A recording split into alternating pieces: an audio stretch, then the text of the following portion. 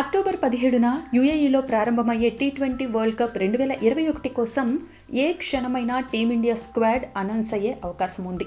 అయితే కరోనా మహమ్మారి పరిస్థితుల నేపథ్యంలో పద్దెనిమిది మంది లేదా ఇరవై మంది ఆటగాళ్ళ బృందాన్ని బీసీసీఐ ఎంపిక చేయనుంది.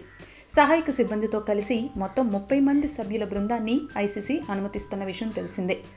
ఇక కెప్టెన్ విరాట్ కోహ్లీతో ఇప్పటికే చర్చించిన భారత సెలక్షన్ కమిటీ ప్రధాన జట్టు కూర్పుపై ఓ స్పష్టతతో ఉన్నట్లు సమాచారం తెలుస్తోంది. దీని మీద కొంతమంది మాజీలు కూడా తమ తమ అభిప్రాయాలు వ్యక్తం చేస్తున్నారు. గంగూలీ రవిశాస్త్రి కూడా జట్టు ఎంపికలో కీలక పాత్ర పోషించినట్లు తెలుస్తోంది. అయితే జట్టులో అదనపు ప్రత్యామ్నాయ ఆటగాళ్ళ ఎంపికపైనే ప్రస్తుతం ఆసక్తి నెలకొంది.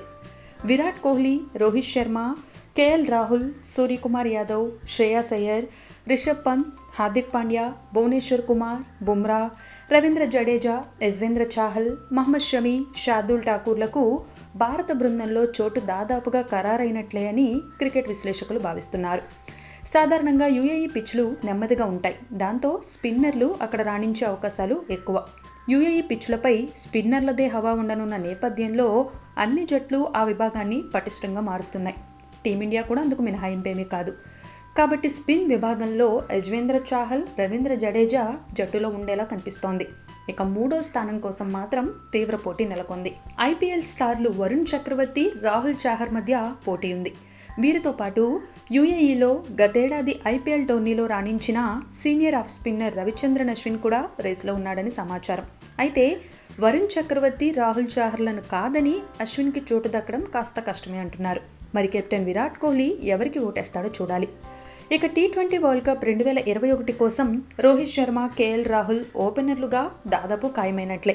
ఇక మూడో ఓపెనర్ స్థానం కోసం అంటే అదనపు ఓపెనర్ స్థానం కోసం పృథ్వీషా శిఖర్ ధావన్ మధ్య పోటీ ఉంటుంది.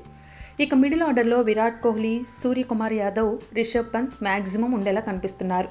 గాయం నుంచి కోలుకున్న శ్రేయాస్ అయ్యర్కు చోటు దక్కేలా కనిపిస్తోంది. ఇక పేస్ బౌలింగ్లో బుమ్రా భువనేశ్వర్ కుమార్ దీపక్ చాహర్ స్పిన్ విభాగంలో యజ్వేంద్ర చాహల్ ఖాయంగా కనిపిస్తున్నారు.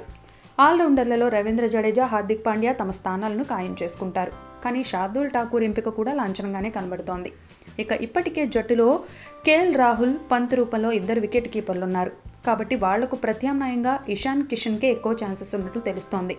శ్రీలంకలో సంజు శాంసన్ విఫలమవడంతో సంజు శాంసన్ పేరు పెద్దగా వినిపించడం లేదు. ఇక ఏడాది అక్టోబర్ పదిహేడు నుంచి నవంబర్ పద్నాలుగు వరకు టీ ట్వంటీ వరల్డ్ కప్ రెండు వేల ఇరవై ఒకటి జరగనుంది.